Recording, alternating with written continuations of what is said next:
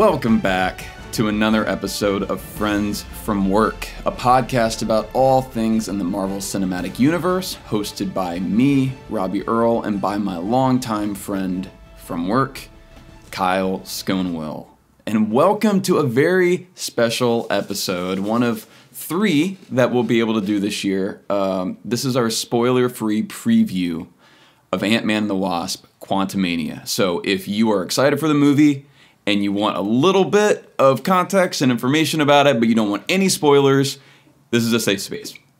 But quickly, I loved it so much. I loved it so much. And that's the most important takeaway. Um, today is always unique because when we walk out of the theater the night of the premiere, it's like 11 p.m. We want to record our initial reactions episode always because we want mm-hmm. just that the initial reaction to it.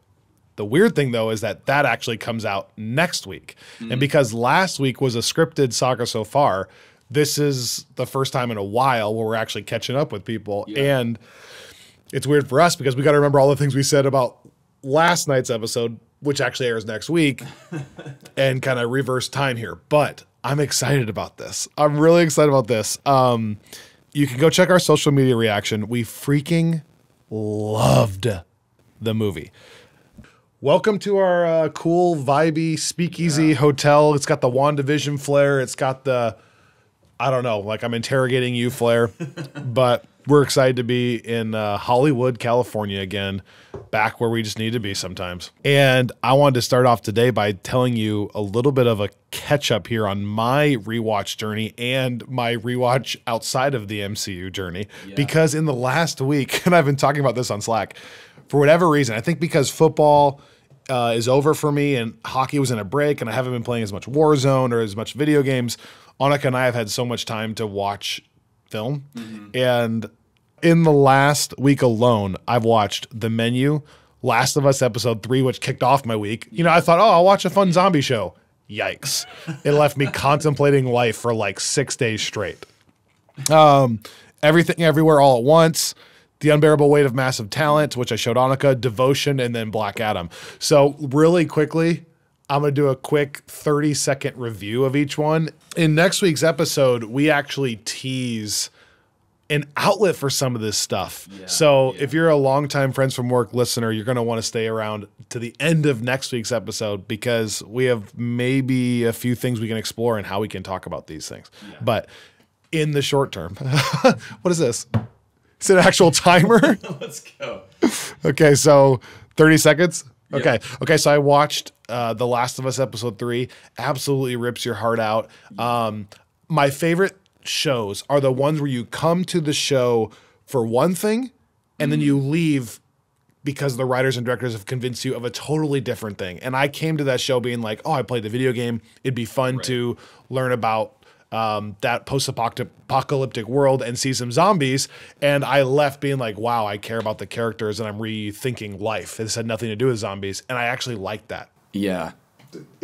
Wow, that's so impressive. That's so impressive. I can't do that. I, I have to say, there's any anytime you hear Max Richter kick in, you know that you're about to just experience an emotional gut punch. Mm-hmm. Like Candace and I were sitting there watching that episode, and already, I mean, by by the time you get to that scene, it's just a beautiful, like heart wrenching episode of television, like one of the best episodes of television I've ever seen. And then you hear on the nature of daylight start yes. to come in, and it's like, oh my! God! And you gosh. think about Arrival. well, I dude, so I actually, yeah, I mean, Arrival, or um, I mean, it's it's. Is it also Shutter Island? I Shutter think? Island. Okay, I also watched The Menu, which uh, um, I'm not going to get into fully here because I have 30 seconds, but also because this might be one of the movies you and I talk about on the yeah. podcast. But, you know, the movie, The Menu, doesn't reinvent the genre, but it's so topical with its social commentary, especially with this podcast. Right. What this podcast has always talked about, and that was the most delightful part. So that's what I'm yeah. going to want to get into when we actually cover the movie uh, in in length. Well, and and it's funny because I like I should have tried to use that last two seconds.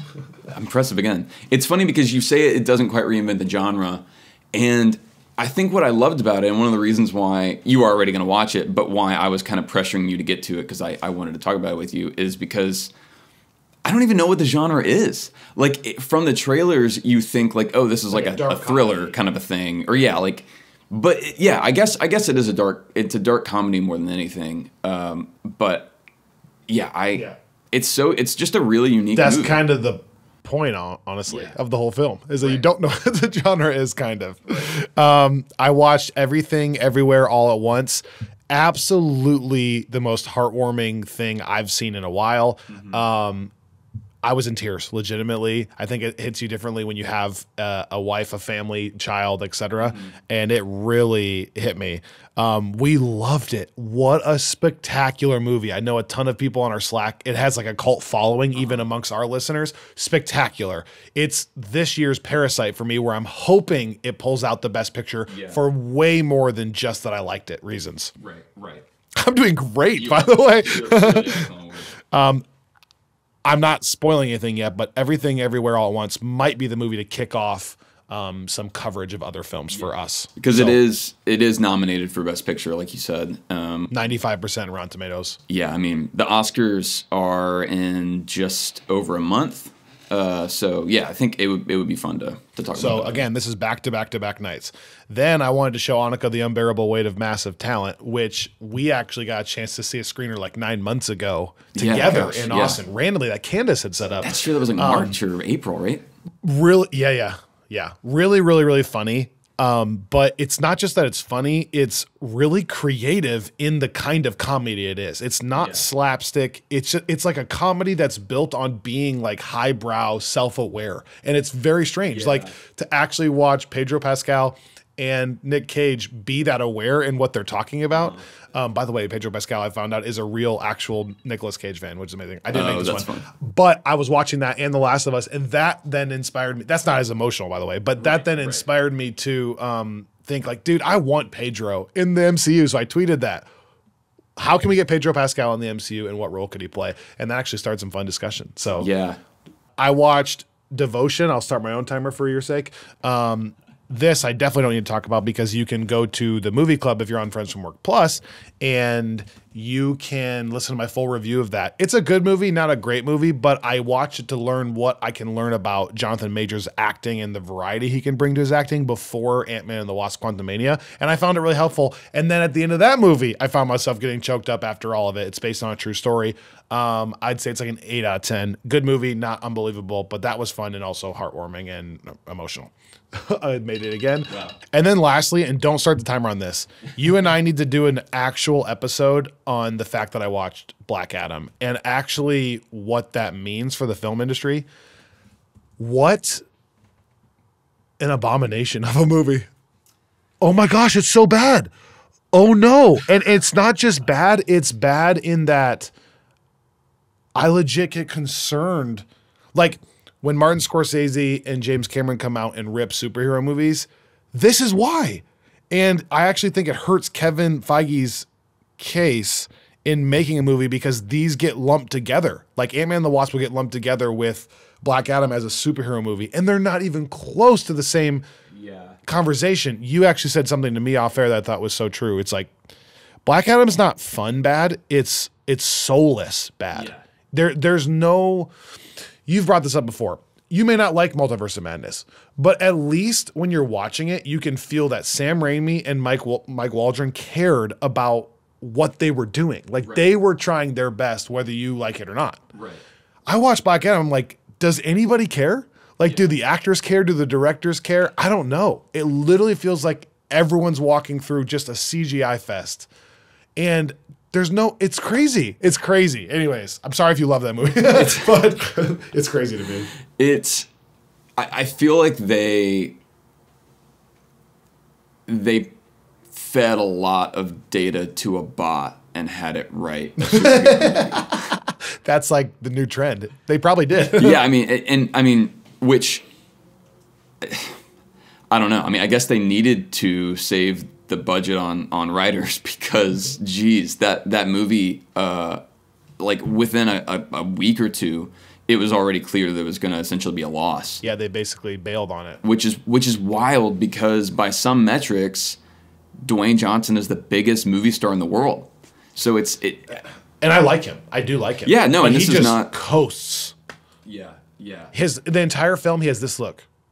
Man, okay, you know what? That's all he does You know what's interesting about that though, and and, and we'll get to, we'll get to this is where you have to be watching video. Um, Sorry. this is uh, uh, we'll get to this whenever we talk about Quantumania here in a moment, but the, the thing that has consistently separated Marvel from uh, not just DC but other kind of franchise things like this in recent years. And again, I, Marvel it's not like this has always 100% happened with Marvel, nor has it 100% not happened with other properties.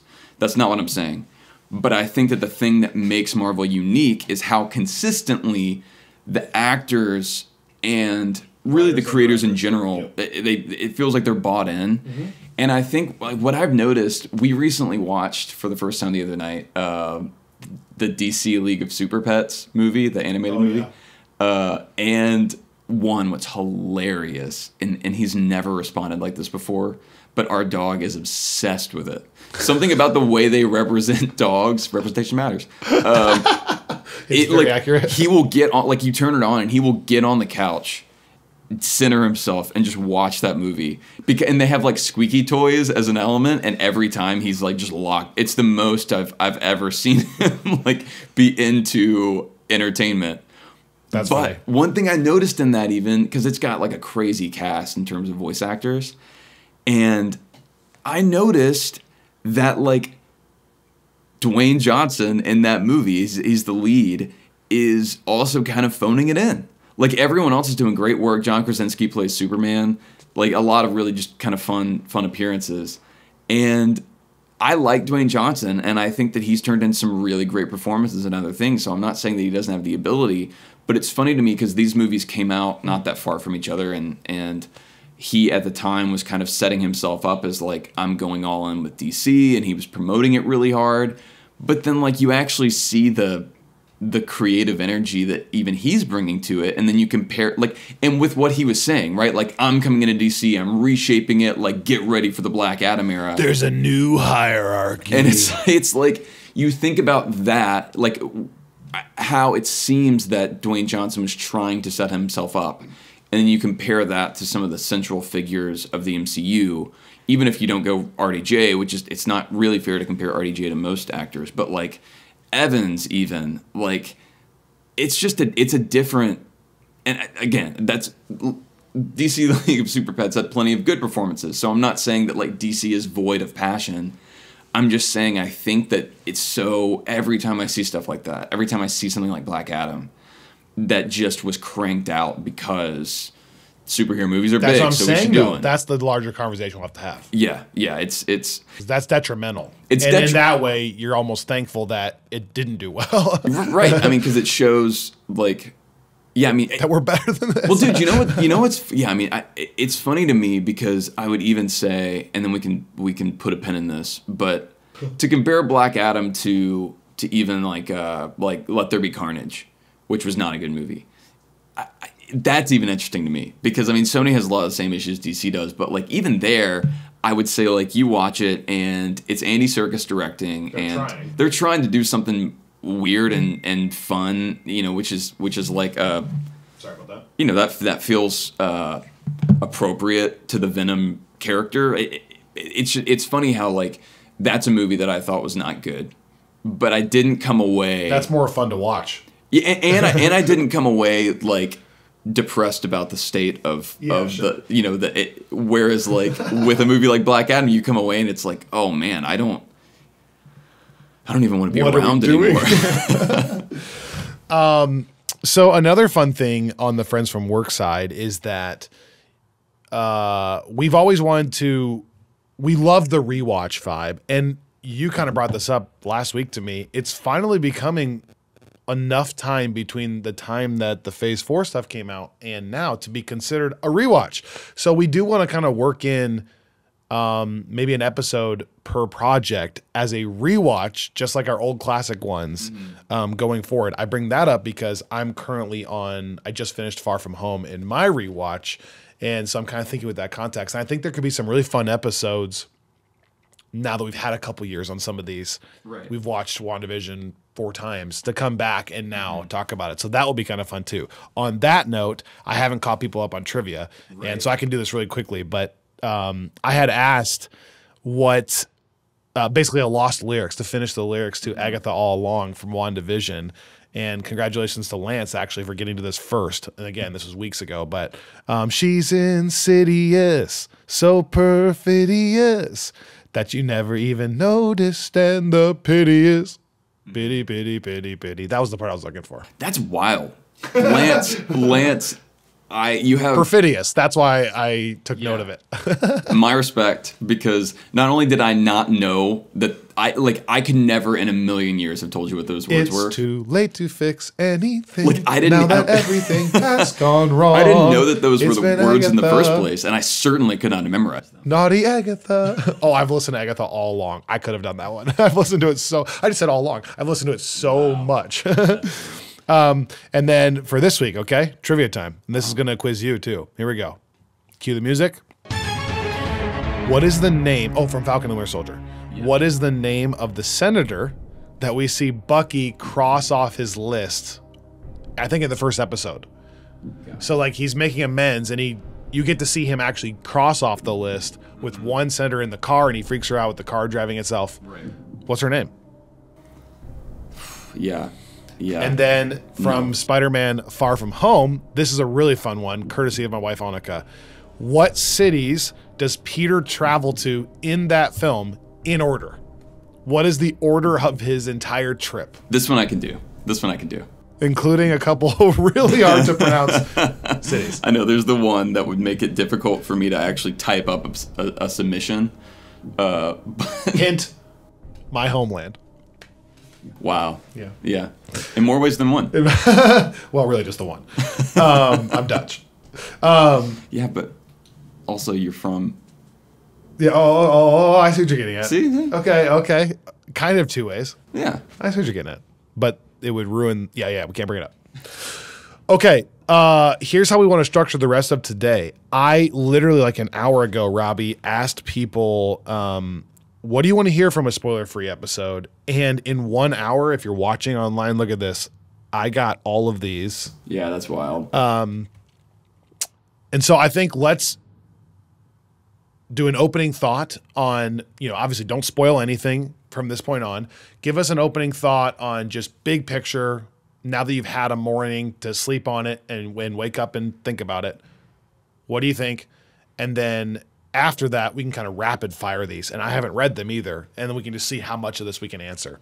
Um, last thing, really briefly, there'll be a lot more information on this on our Patreon page, but we are partnering with Atom Tickets for a fun thing. If you are a Friends from Work Plus subscriber, you can get $5 off a ticket right now, which is actually a pretty significant discount. Yeah. I think it's only while supplies last. Um, but if you go to our Patreon page, we'll share the information. But if you're going to buy tickets to Ant-Man and the Wasp or to Guardians of the Galaxy, or you're going to go to Ant-Man again or whatever, you might as well use a dope ticketing app that saves you five dollars. And I'm going to share that code on the plus page. So check that out with Atom Tickets. And if you are looking to buy tickets through Atom anyways, which is a great app that you can use to get your tickets, you're already using something anyways. Um, check the show notes and click on our referral link. It helps us if you uh, use that link before you buy your tickets, just so they know that we sent you. Okay, let's get into Ant Man and the Wasp, a spoiler free preview after a quick word from these sponsors.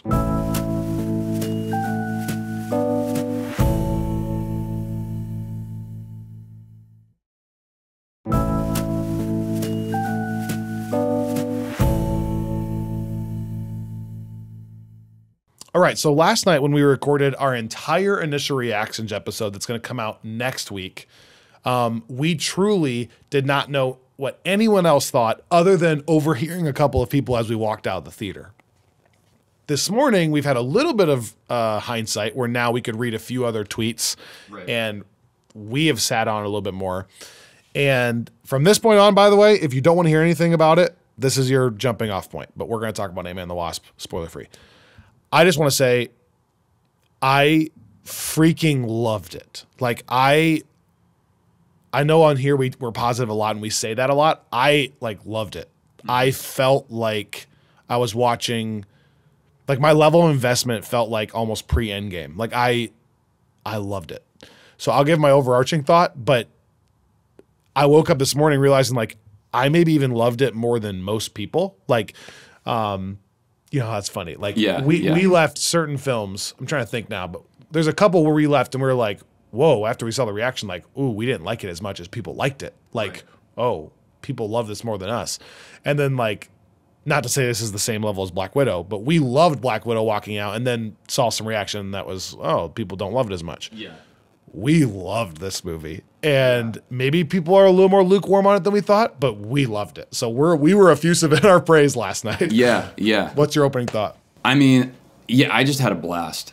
We were talking on the way to the theater about how there are certain movies in the MCU that you you walked out of feeling like so pumped in a very particular way. And I think a, a lot of that I associate with the the very end years of the Infinity Saga, like 2016 to 2019, when it just felt like everything was firing on all cylinders. It felt like there was this like, like Marvel. There was a there was a, a bit there where they just couldn't miss. Like it was like everything was was fun and funny and driving it forward, and it was like it was just it was wild. Like the, the you know going to, to Spider Man no or sorry uh, Spider Man Homecoming in, in summer of 2017, and then Ragnarok in in November. It was just like oh my gosh, Black Panther. Black Panther, Infinity War, like just wild. And this is the most I've felt like that since that period. Which is not to say it's the best movie since then. That's a different conversation but it is very good dude i mean it's it's certainly it, it, it's for me immediately in in the top three uh post endgame films. Like i I mean, i i had i was beaming.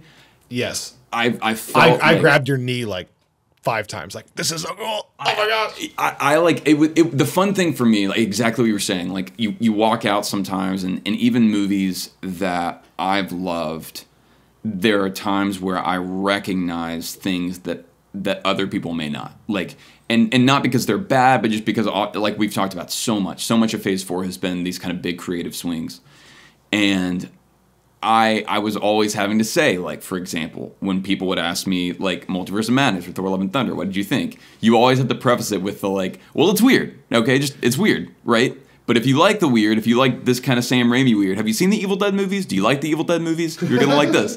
Like, do you like Taika? Do you like really goofy Taika? Do you really like it? Then you're gonna like Love and Thunder. And I like, I just didn't feel that way at all last night. Like, I, uh, even though that's what's crazy it is weird. it's the weirdest it thing goofy. they've done in years Yeah, yeah. And we talk about that so much uh, in next week's episode when you can actually talk about it because there it, it- it's hard to explain like the swing is so big stylistically but even the misses feel like appropriate or char- or charming. It's so strange to explain I to, to us. Th- so uh, what I guess what I want to say before we jump into these questions, which will is going to be such a fun way to to do this. yeah that can drive the conversation yeah. I I just because we were just talking about this with with Black Adam, I think the thing that delighted me so much was just the clear buy-in of everyone involved. so it makes it so different we just watched the press conference it's so Right. different like I, so f- first off just so people know in case you don't follow this stuff or live in our slack the one of the big differences for this movie from the other ant-man films is on the writing side like we've we've actually had peyton reed direct each of these the first to finish a trilogy after jon watts um, also the first composer to to finish one after Giacchino. And we were so curious going into this. Okay, like they they have this new writer in Jeff Loveness who wrote this script, just like Michael Waldron solo penned Multiverse of Madness. Jeff Loveness solo penned this. Also, they're both Rick and Morty alum.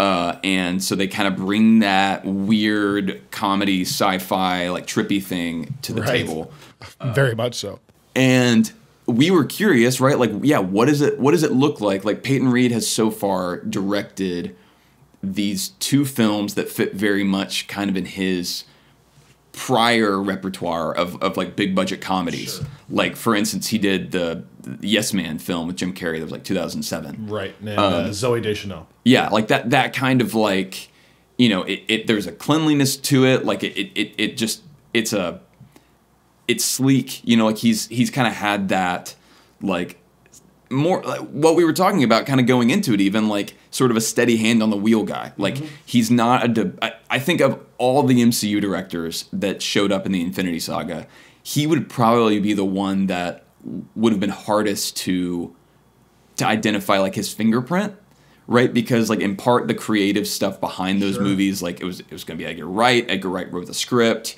he departed the project. Like it was just always hard to figure out what was coming from where.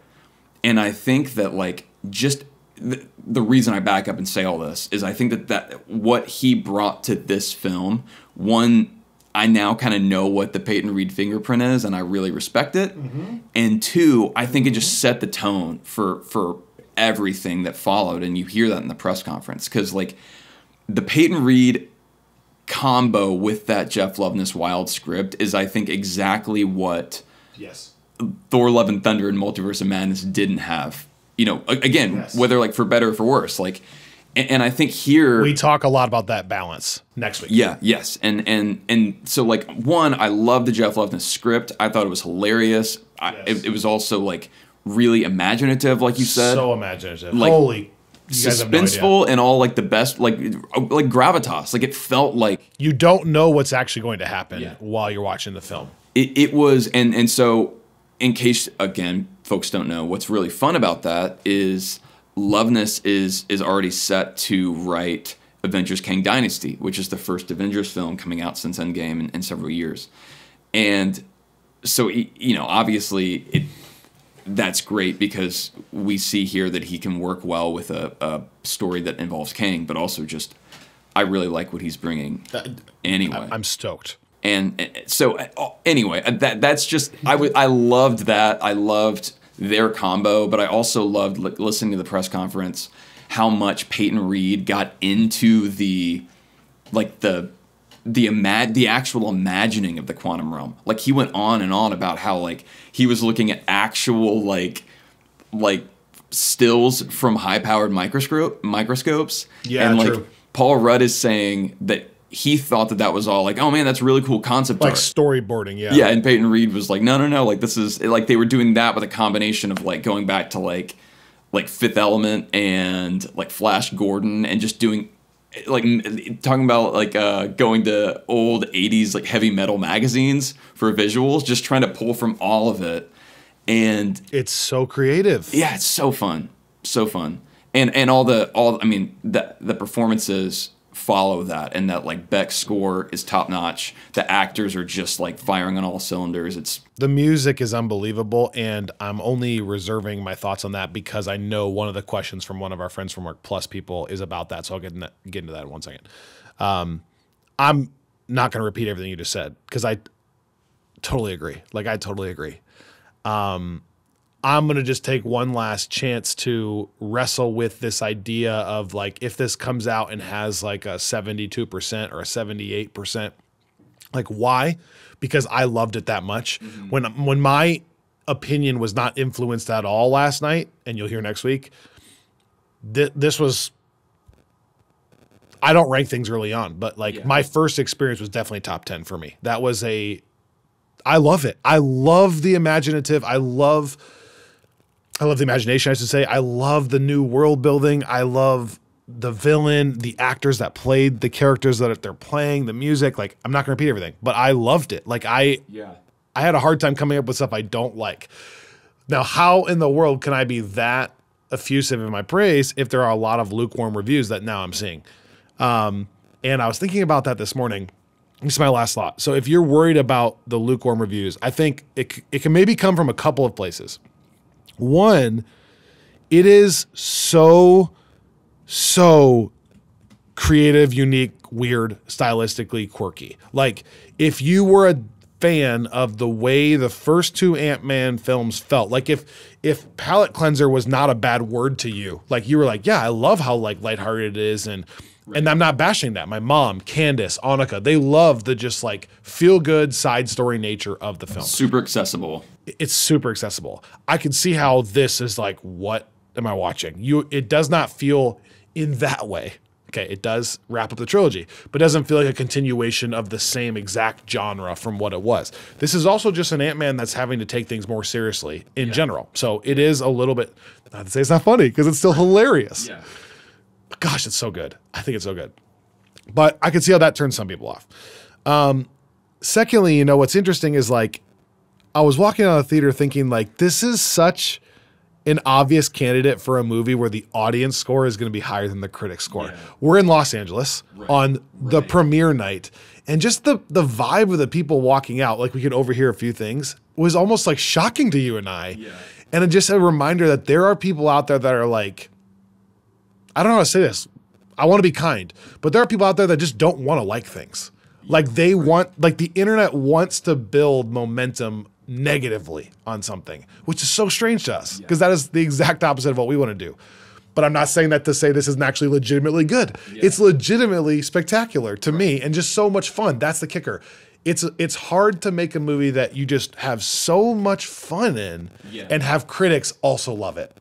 I just I'm I'm a little bit surprised that anybody who likes these things, like you like film, Right. but specifically you like the Marvel Cinematic Universe, that you can walk out of that and go like, nah, meh, Yeah. like I don't meh, I don't appreciate their effort. Like what? Man, it's yeah, it's it's an interesting. It was so much fun. I like- like do people not like just having fun anymore? That's a that anyways, Well, that's what I was thinking about this morning. It's it's funny because on and you know I, I'd be fascinated to to see someone do a better study of this than what I can do, but I feel like as Marvel has has grown and grown. Um, I mean, Jonathan Majors in the in the press conference, we twe- we tweeted this earlier.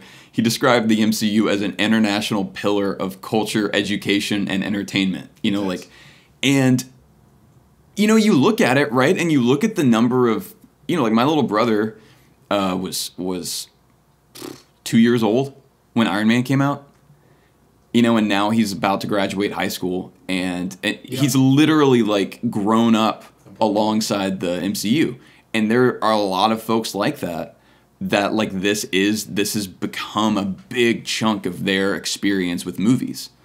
And so I wonder if like as that's happened and as more and more folks are kind of brought into the fold and as critics are having to take these more and more seriously in the amount of, of at least time and kind of airspace they dedicate to it. and the goalpost just keeps moving. Well, a- and I just wonder if you're you're getting more and more people that have to cover these movies that wish that they didn't or or like maybe it's like people are putting certain certain kinds of expectations. I mean, but This is why we have to talk about the menu. yeah, people are losing the ability to like go back to the joy of the thing.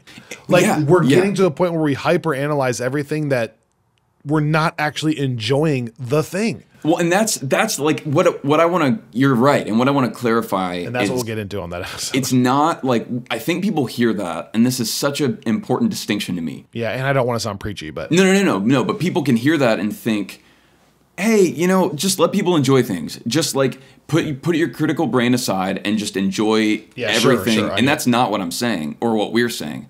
What we're saying is, I I think that there is a fundamental difference in the way that we have have now taught ourselves to consume things because of the way that that the social media interactions happen, where it's like we're now watching a movie to have a take on it. Like that's the thing, right? Like you're watching it and you're thinking like, we were literally in a theater of people doing that. yeah, I mean, because you you go out and you do your social media reactions. I mean, like you're that's what you do, and it's like, and if you're not a, a if you're not a member of the the movie press doing this stuff, then you're doing it on Letterboxd or just doing it on socials anyway. And it's like you think about as you're watching it. Like I always, I give Candace a hard. T- Candace is not an example of this, but I give her a hard time because we'll be watching a movie at home. And like three quarters of the way in, she starts crafting her Letterboxd review, and I'm always like, "No, you just watch the movie and go back." but it i just think it's like if, if we're already thinking about the product that this movie is going to give us in this like my my analysis of it that i can now share with everyone or where does this move the mcu along and how does that like it's just Yeah. it's not going to be a fun way to to to consume anything because it is like just respond to it. Like honestly, like enjoy it. And I think that you would. I've found I'm not again. I'm not being preachy. I'm talking to myself, and that like Be willing to let yourself have fun with it. This has been a conversation you and I have been having just personally, like internally for the past couple months, where it's like, man, I, it's exhausting trying to trying to figure out like what every like what you should think about a thing. Just think the thing that you think, like like enjoy it. And so, like my final note before I- we jump into like I love the, Robbie rants. the questions. This is a epic Robbie rant. No, I totally agree with everything you're saying. Obviously, I just I, I would say and, and this sounds like I, I don't I don't mean this to sound pandering because this is actually what I've done for this particular film and I've really enjoyed it already. Like you're listening to this podcast, which is obviously, you know, coloring your perception of the movie you're going to see. Sure. But like I have this is the first time for a Marvel movie since gosh, I don't even know how long. I mean, probably way pre Infinity War even that I have not like searched for any early reactions to stuff other than just like what we heard from the theater walking out and kind of made a point not to like and just come into it and it's so like I don't know. It's so much. It's so much better. Like I, I would just encourage people to maybe hold off on that this time. And I don't like. I, I don't know how it's going to come out review wise. Maybe this is all. Maybe it's going to be ninety nine percent. Right. Like yeah, yeah. I think the audience score will be higher than the critic score. And by the way, sorry for this truck that's just backing up constantly right outside the window here. Um, yeah, I again, we'll get into this with like the menu. I think I've been wrestling with that exact idea of just even the nature of what we're doing right now. Right. Like, I guess, I guess I wonder truly what is the benefit other than it's like you can't wait for Christmas. Like Yeah, if you, right. you can't wait to open your present, so it's like you're just kind of peeking at the label. Right. I'm just wondering if like, yeah, I don't want people to stop listening to what we're No, doing. no, right but- no, but, but- but like, yeah. yeah, like.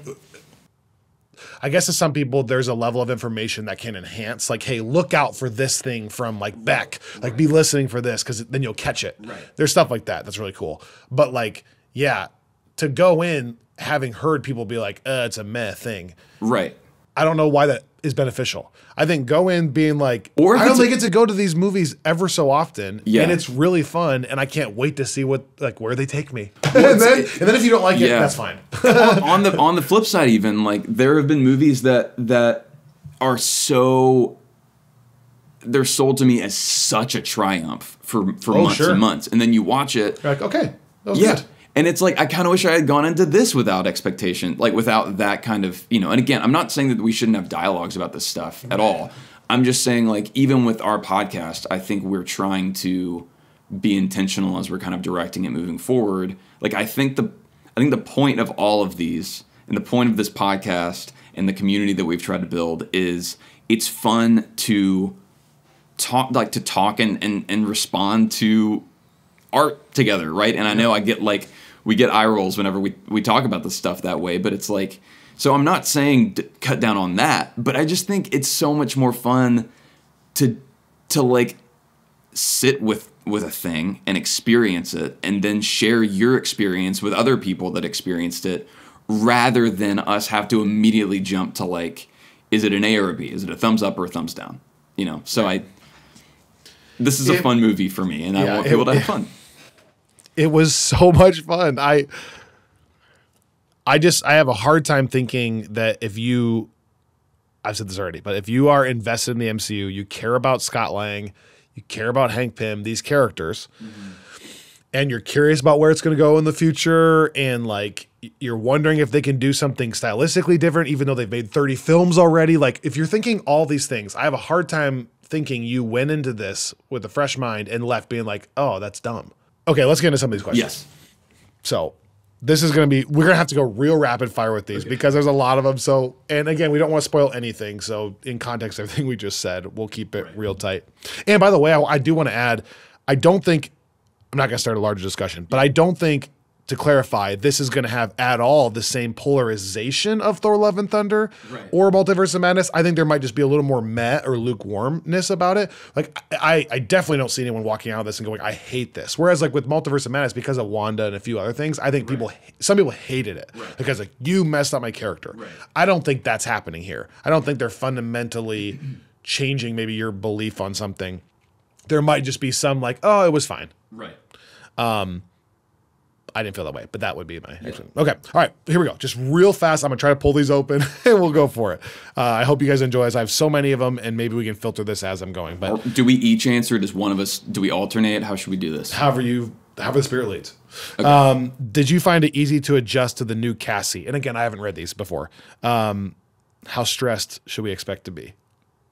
I, I very much found it easy to adjust to new Cassie. I think she did Yeah. a great job. I think she looks more like what Cassie Yeah. would look like at her age. And um, I think she carries a lot of the same heart that the original young Cassie had, who is, by the way, my favorite child actor in the MCU. Totally agree. I was totally happy with Kathryn Newton. Could not could not be happier. I never I never thought to myself like, wow, I wish this was a different casting. Um, I would love to know if this movie actually feels like the start of a new phase or if it fits tonally with phase four or phase three. It definitely feels like the start of a new phase while having the anticipation Yeah. of a phase three movie.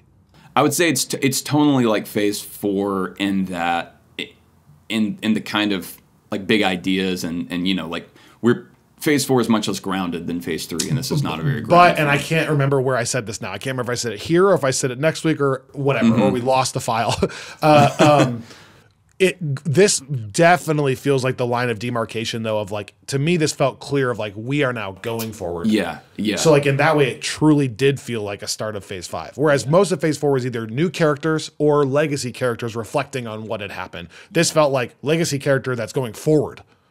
Yeah, yeah. That's I, I'm also just since we mentioned Phase Four, I would recommend folks um, if you have you know if you're on your own rewatch, it, it's not like you have to sprint through it, but if you're looking for some homework to do in addition to the comic stuff that we're doing on the on the Patreon, um, I would I would really encourage people to rewatch Loki because Second question, if any, how much does Loki series play into this film? wow, yeah, I mean I- like. A good bit, I think. Yeah. yeah. I mean, not. we can't answer that yeah specifically. yeah i mean I, I would just say like if you if you haven't seen it you're not like you're not going to be confused um, but i think that if it's fresh on your mind you'll appreciate it knee jerk reaction, which is what we just said we wouldn't do um, in the rankings department. Um, where would you put it, and how does it compare to other trilogies? Um, we're not going to rank it. It- it- Look, look, Infinity War is my number one, has an eighty-two percent Rotten Tomatoes. right yeah That's hard for me to reconcile. That somebody could think that movie was garbage um, or rotten. yeah I'm nervous that Infinity War, Black Widow, and now Ant Man and the Wasp Quantumania are going to be the three movies that I am so much higher than the average consensus. So from I'll say this. I think the critic score is going to be like 75% and I would say it was a top tier for me. yeah i would say it's it's So uh, it does not match the 75% for me. It's one of my It's one of it's one I can't do this yet, but it's, one, one of my my- 10 favorite films. yeah yeah it's one of my favorite marvel films out the gate i think i really i, I just we just had fun. i just had it i loved it i loved it it, it, it, last thing on the fun department, the way Wanda Gri- WandaVision, Wanda Vision, WandaVision leaned into the grief is what I was gonna say. The way it leaned like into gritty the grief, with like the Wanda outfit. The way it Should leaned, now. stop, the way it Photoshop. stop, the way it leaned into the grief so heavily. That's one of the reasons I respect that show so much. Is like they went into that. This is the same thing for me, but with fun. Right. it's like we forget that that's another emotion that you can like another experience you can have with these films it doesn't just have to be heavy or dark there are like i need all of that i want the balance of the darkness and the the the brute violence and the and the dark stories and the hopelessness and then i want the grief and having to sit with that and that's what phase 4 did so well but also i want to have fun sometimes like some of the characters can be in a good spot Right, right.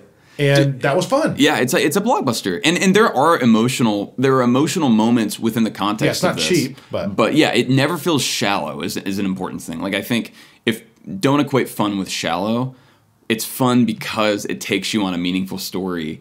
It's about like it's a it's a movie that's about family and about these relationships that we've been exploring for the past two films, and that's handled really well, but in a way that's also like hilarious and uh, thrilling at times. I mean, legitimately thrilling at times. in a non-spoilery way, I'd love to know if Kang reveals anything about an older project, as in like, are there any current MCU projects now better or different in light of Quantumania? For example, the way WandaVision made Civil War more compelling for Wanda's character. Without spoiling anything, I'm not going to get into this one because I don't want to spoil anything. I, I don't. I don't think so. Not not really. Don't look because it goes forward. Yeah, yeah. I, I would say like, you know, again, and this is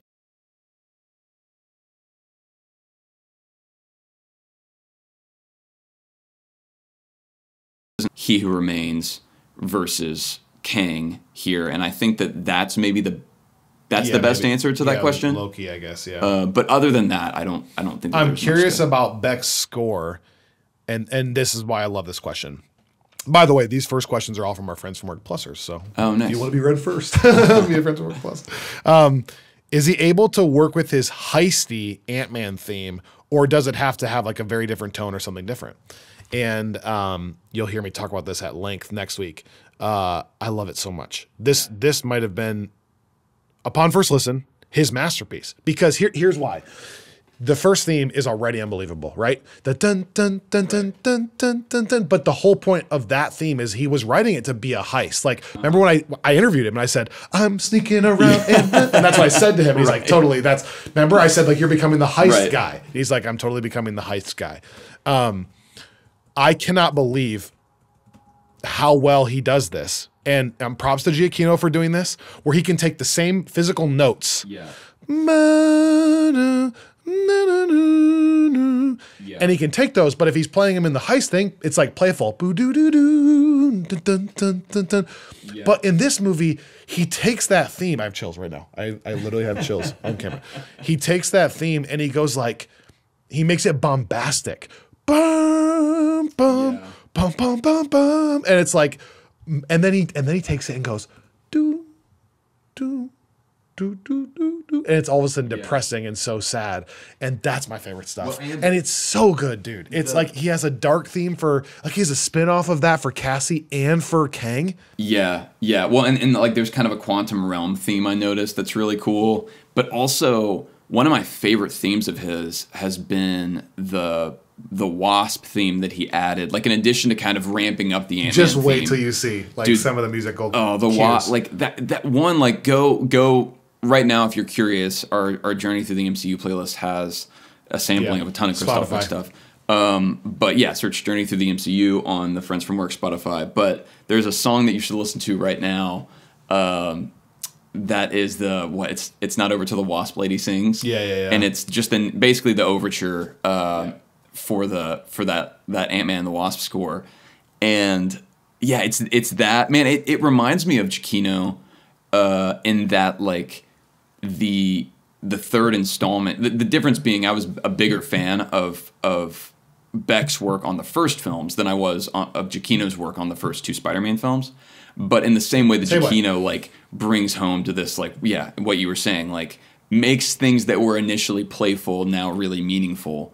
Beck does that, but much more like cinematic in scope. It's instead of being like heart wrenching, it's like people think that we just say positive things about all composers, but for me, I'll just out myself. Like Beck is my very top of the of the MCU. Like Yeah. he's one through five, and he's not five or four probably. like he's somewhere in there. it's Um, it's so- I think about Beck's scores the way that I think about Daredevil comics, which is like if you look at some of the most cons- like if you want the most consistently good MCU scores. Side note, that's another example. John Paesano, the Daredevil theme is.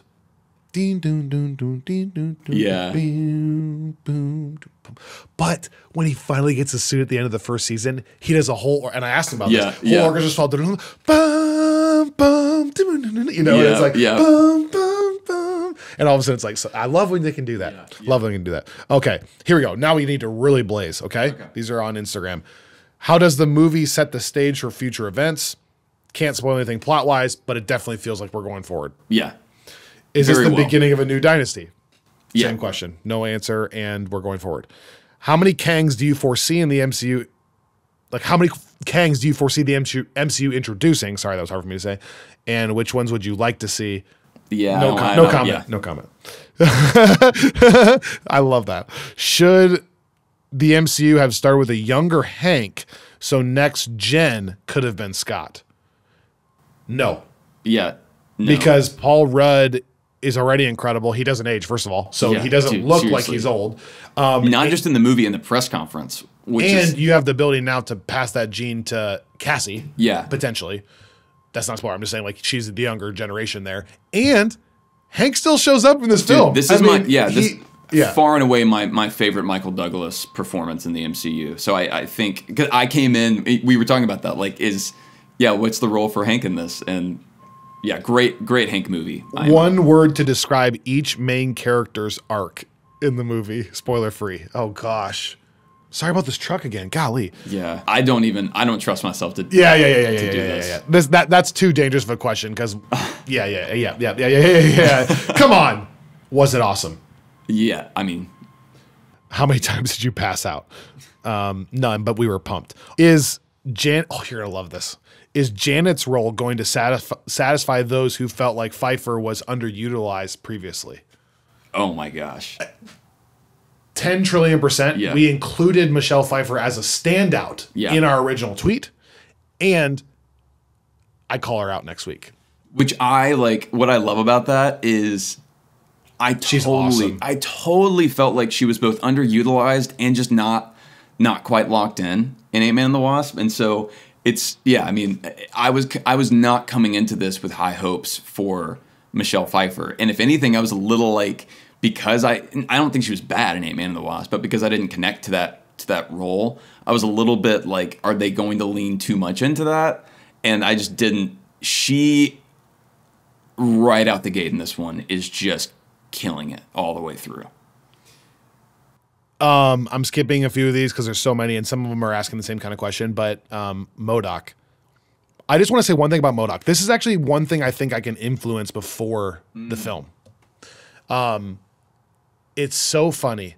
Let yourself embrace the like how goofy the character is. Please do not go into this thinking like MODOK needs to be some. Do you know what I'm saying? Well, the- like and- set yeah, I your mean- expectation on having fun with the film. Don't set your expectation on like.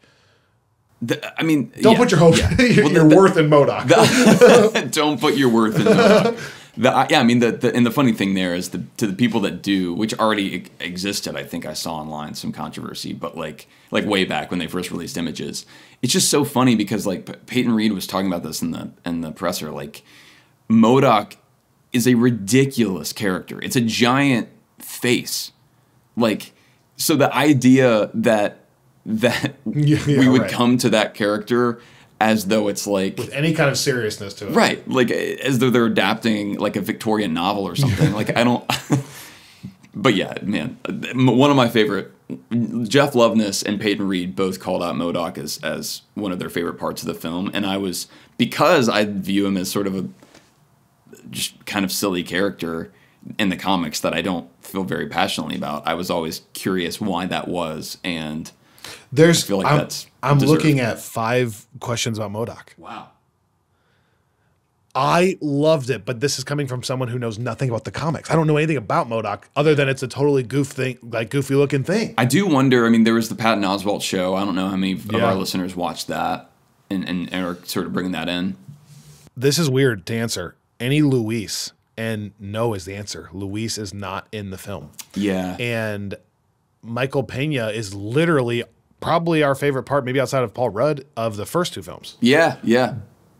But I don't mean this as a slight. You don't miss him. You'll you'll understand. Like he wasn't needed for the film, Right. in my opinion. No, no, no. I agree. I mean, I, I, I didn't even think about it until, uh, until the end. Like whenever I was like, oh wait, yeah, we missed this whole chunk because I was just And watching the credits. Yeah. Uh, quickly to wrap this up, who were you most surprised with their performance? For me, it's Pfeiffer. I think Michelle Pfeiffer. Yeah, I think uh, the other one would be Michael Douglas for me. All right, to my wife who wrote, "Did you get Chipotle or Five Guys?" I got Five Guys, sweetheart. um, she said maybe you want to get Chipotle just if it sits a little lighter before the theater. But I was like, no, I haven't eaten since six in the morning. Um, how's the CGI? I'll I was you- really I'll hoping. I was really hoping they managed to make the quantum realm look good and real. It's phenomenal. Now, let me say something really quickly. We watched this in IMAX, a great theater. Yeah. We watched it in IMAX, so the score is a huge impact on IMAX for me because there's Yeah. awesome sub, like great bass coverage. So like the Mm-hmm. score, the big ones hit you, like you feel them in your chest. Like literally a couple times, my my feet were rumbling Yeah. which I love. So the score is enhanced in IMAX. Uh, visually, I thought it was. What do you? think? I thought it was fantastic. Yeah. Yeah. fantastic. I mean, obviously they're in a quantum realm, but the imagination and the way they pull that off, like, yeah, it is a green screen. Yeah. They're not on location in the quantum realm, but it's it's believable to me. One one thing that I that I, I love about that that I don't even think we mentioned in the initial reactions is do, do you remember how you know as as much as the first two Ant-Man films were largely like we said kind of ground level and accessible we did have those peeks into the quantum realm in both films that got like kind of trippy and more Doctor Strange esque in the visuals. And one thing that I know MCU fans have seized on for years now is that like little clip that we get in Ant Man and the Wasp when Hank is shrinking down to go rescue Janet, and we see like what looks like little cities in the background. Yes. Yeah. Oh my gosh. Yes. And I I And love yeah I love that they I mean we we get that like we we return we don't return to that exact moment but we But like it carries the similar vibe. yeah, I mean, it's like it it it feels like if you got to zoom in on those and see and like again to go back to the beginning, like and it makes the TVA uh, landscape look more understandable slash believable. You know, they, yeah, they right, by the window. right. I thought about that too. Yeah, yeah. I mean, I, I think it's uh, which makes you know, I mean, I think I was that was another surprise of mine, just looking at what I would have expected from Peyton Reed, both like the the degree to which he he like really went for it with with sources and with kind of introducing various elements, but also just the the execution.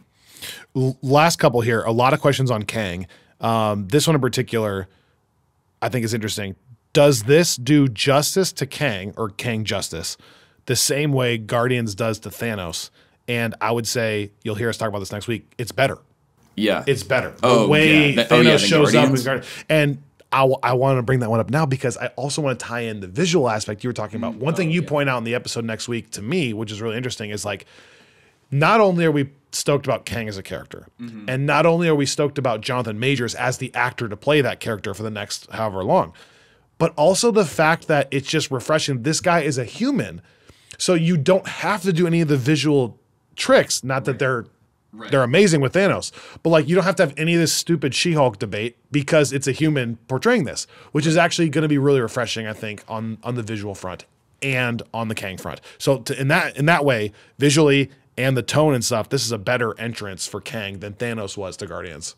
I don't, even, I don't even think that's debatable. No, and, and I would say like one thing about Thanos is even aside from appearance, I think it. I don't think that Thanos showed up in the in like we think of Thanos as compelling because of Infinity War. The last two movies. Yeah, and, and and it's different, right? Because that was the same character, and and in part, like again, to to go read kind of what Majors has been talking about with He Who Remains versus Kang, you are getting different variants, but even then, it's just like it feels.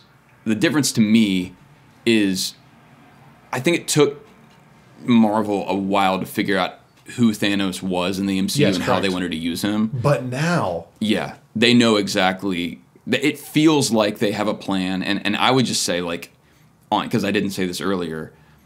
I am, have been since Loki, but am like, unbelievably stoked that Marvel has has tied themselves to Major for the the multiverse saga. Like yeah, we just watched the press conference and it only reiterates that thought. it is like he's incredible. Like as an he's one of my favorite actors But also generation off right now. screen, he's bought in. so bought in, and and I just feel like you will eh, come away from this movie. I think even honestly, the the stuff that I, that that we've talked about, like I think even if people dislike parts of this movie, no one's going to have an issue with Major's performance, and, and I think that like I just we've talked so long about having right like a villain that that you can like move ahead with. Yeah. And we've never had that because even Thanos, it was like that he was in the background more than anything. But like, I just, I think it's going to be, it, it's the best decision that Kevin Feige and Go have made in, in a spell. I think. Right, because even like Gorr, if like you you probably couldn't have gotten Christian Bale to sign on for five years Right. as a character. So the fact that you got an actor like this to also commit and buy in to the same degree to make this like his performance that like he's remembered by Right. is crazy, and it's awesome. Um, last thing, Oh, wait, wait. Can I say one more thing Sure. about Majors? Just Sure. because he's, I love it. He said this in the press conference, and I loved it. Um, he was he was talking about how he approached Kang, and again, doing it with so much sincerity. You know, like it, it, it does not feel put on, um, or like he's he's somehow viewing this as a lesser project than his other performances. But he talked about his process and how, to him, it's like he, he talked about like doing Shakespeare and he talked about how it's like learning the structure of the character and learning like inside and out like what what he said like I think he, he talked about the like the backbone of the character but essentially like studying it doing a deep dive figuring that out but then also figuring out the the characters and the actors playing those characters that you're going to be with. Like he talked about the the deep dive into like Tom Hiddleston ahead of of Loki and then that with Paul Rudd and like how he is he seems so dedicated on like a level that we've we've only seen with a handful of like again i think so many marvel performers have bought in. We were saying that earlier. But then there's like a top tier of folks like tom hiddleston that are like they love it. They love it and they like are doing their own deep dives and mining their own like past projects and like he's bringing that level to it but then he also talked about how he's bringing this play to it where it's like you figure out your character and then there's almost like the the the like quasi improv element of like now you're just playing and you see where the scene goes and like it explains so much about what I love from his performances because they feel just so electric and alive and it's like he is a guy that I think understands because he does the work. He understands the character that he's portraying and he's also there in this very visceral way. Like there's a presence of the performance that I just I I I'm such a fan and and I I can't wait to see him in Creed 3. I can't wait to see him in more Marvel movies. I think people are really going to love him as Kang here. Um in closing, you brought up something that I think is actually a fascinating discussion, maybe for another time. But um, you know, a lot of times I think the popular opinion from the outside of non MCU fans is that Marvel like really had it all together in their planning and their details back when it was like phase one, two, three. That was like their perfect plan. And now it's so scatterbrained and like things are getting loose and stuff. Having seen this movie and, and then listen, you talk about Thanos a second ago. Mm-hmm. It's really interesting that I could make an argument that it might actually be in some ways a little bit the inverse of that, what people think. Yeah. In that, yes, in the first three phases, they knew they wanted to anchor it around Robert Downey Jr. and Chris Evans and and their characters, mm-hmm. and they knew they wanted to anchor it around the Infinity Stones, and that at some point somebody would want to get them. But even those, Yeah. they didn't know that until I don't know, 2013, 14. Yeah. So even that, they didn't start with that. And then they retroactively then were able to like go back and make the Tesseract something more important. And they were able to make Thanos like, oh, he was actually behind more of this earlier on. Like Part of the genius of Endgame is that Right. it did that work. Right. And we talked about that in Guardians 1, where even Gunn was like, yeah, they asked me to include Thanos in this. Mm-hmm. Well, that wasn't the first movie they made. It's not like that was like the, the groundwork laid and now we know to go. So, ironically, now, especially starting with this film, like phase four, new characters, like who knows how they're going to bring that all together yet. I don't know that. But starting with this film, they now have the opposite luxury, which is like you now know that these people are signed on for X amount of time, and you can already now project every project Yeah. for the next two two phases Yeah. of like where it's going to go. Yeah. Yeah. And they didn't have that luxury when they didn't know if it was going to work with Iron Man. So that's actually kind of wild. Yeah.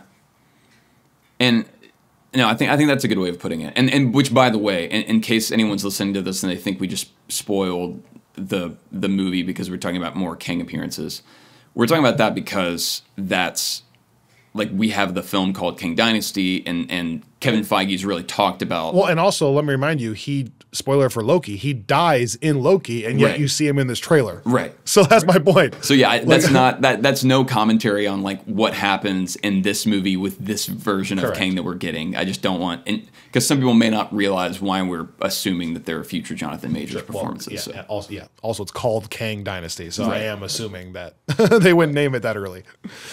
Um, the last question was: Do you think that Scott Lang's podcast was inspired by the Friends from Work podcast? Maybe. Almost certainly. Yeah. In fact, at the press conference, he like took a, a few minutes to actually talk about that. Yeah. Like we weren't even going to include that storyline until I heard Friends from Work, and then I you know I, which we were like, uh, you know, Paul, you don't have to bring that up, but but he insists. You know, Yeah. and when when Paul insists, I that's what I always say about Paul. When he insists, yeah. you know.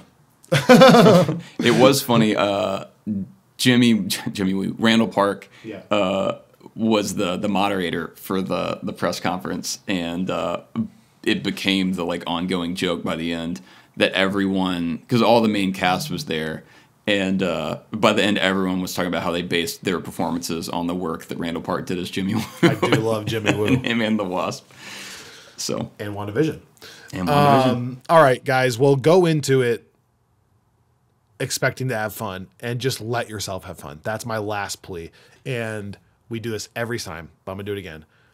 That intro uh, credit roll rolls, and I know I'm Pavlov's dogs, but I, in that theater, in that moment with you, I realized again, you only get so many of these. Like, Yeah. it- it's not like promised to us that these are going to be infinitely good forever yeah, yeah. so like yeah. that started rolling. I'm like, let's go. Like I'm gonna enjoy this movie while I'm here, and I sure as heck did. So I hope you guys can do that as well. Um, there's so many logistical things we have to get into um, that I'll save for a different time and post online. But like I said, next week is our initial reactions episode. Enjoy the movie next weekend. Uh, listen to the episode when you are finished with that film. If you want a last minute prep for this film and you're listening to this, go on our YouTube page and check out our saga so far and a little friendly reminder we did uh, a shortened version of like something you could show your parents if you want to take them or your friend to the theater and they've never seen any Ant-Man film. That was our goal of making that. So just you can find us on all socials and uh, on YouTube and TikTok um, at the FFW podcast everywhere. And just so you know, the the and this this time around was sort of unique for various reasons. But yeah, the saga so far here is intended more for MCU fans. It's just like a fun recap that we did. But yeah, if you have folks that that are not necessarily MCU fans that you're trying to kind of sell on coming to the movie with you, or just people that you know aren't going to take the amount of time to watch the full saga so far, uh, the friendly reminder is is designed exclusively for them. And we really laid that out at the end of next week's episode, which is a long marathon, two hour episode next week. But at the end of it, we really go through some of that stuff. And all the typical stuff. If you can, follow us on social media and check out our website, theffwpodcast.com. There are a few shirts there for sale. You can donate to our podcast and, and help support the Friends from Work podcast. And there's also a contact form where you can reach out to us and you can tell us if you're Bob Iger and you're trying to sue us. Um, but we try to answer all those messages as well which is actually a fun part of this. Join our Slack if you want to get involved with like six or seven hundred other people that are just diehard MCU fans and just like hear the uh, Marvel news and chime in on this conversation. Um, but yeah, reach out to us and we can work we can work some of that stuff into the next episode and stuff like that. Um, as always, please tell your friends about the podcast, subscribe to it, rate, review, and then yeah, have fun. We'll see you next week, right? We'll be right here talking about Ant-Man and the Wasp: Quantumania next week here on Friends Work.